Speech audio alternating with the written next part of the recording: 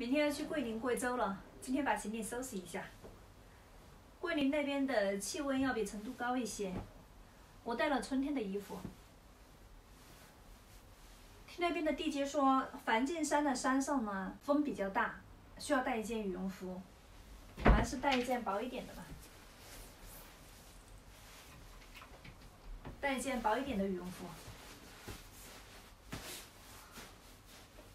好，就这些衣服了。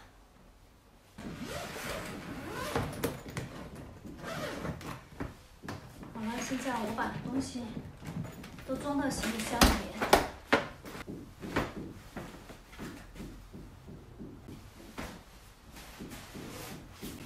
那衣服就这些了。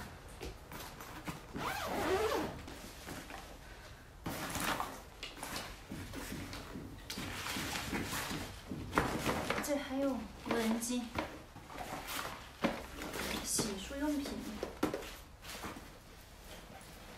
所有的充电线都是这个包里面，还有帽子。好了，行李箱里面的东西就这些了。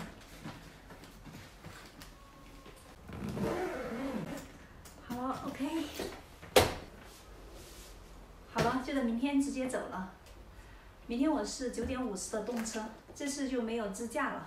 订车票的时候呢，看了一下，从成都到桂林的导航啊，那当时我搜了这个桂林的导航，呃，从成都到桂林一千一百二十八公里，开车的话是十四个小时，相当于就是要开两天时间。坐高铁的话，五个多小时。当时订高铁的时候呢。看这个从成都到桂林站啊，就是明天嘛。我订的是九点五十这一班，这个价格的话是四百三十四。当时我也看了一下机票，嗯，机票最便宜的当时昨天看的三百多块钱，但含上那个机场的燃油费还有保险呢，加起来也是五百多块钱呢。坐飞机虽然时间就是只需要一个多两个小时的样子。不到两个小时，从家里面到机场，然后在机场候机，呃，这个时间的话，至少都是一个多小时吧。有可能飞机还会晚点，所以坐飞机的话，差不多也是要三四个小时。而且坐动车的话，我感觉就是要安全一些。如果是开车的话，时间就要长很多了，就耽误很多时间了。而且我觉得开车的话，最好是。